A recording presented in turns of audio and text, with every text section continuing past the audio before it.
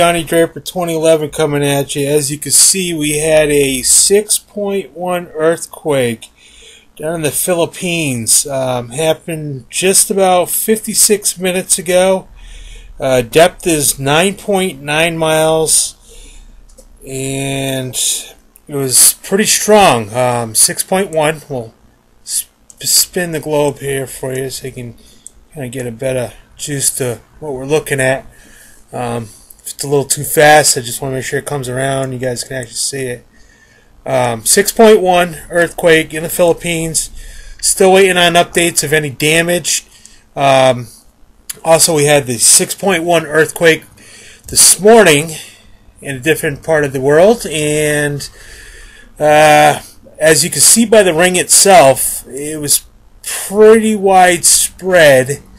Um, I mean, 6.1's pretty hefty, especially if you live in a region where you have older buildings and stuff like that. Um, this is Johnny Draper 2011 coming at you with the update of the earthquake that happened in the Philippines just uh, about an hour ago now, and uh, 6.1. I will bring you more details when they come to light to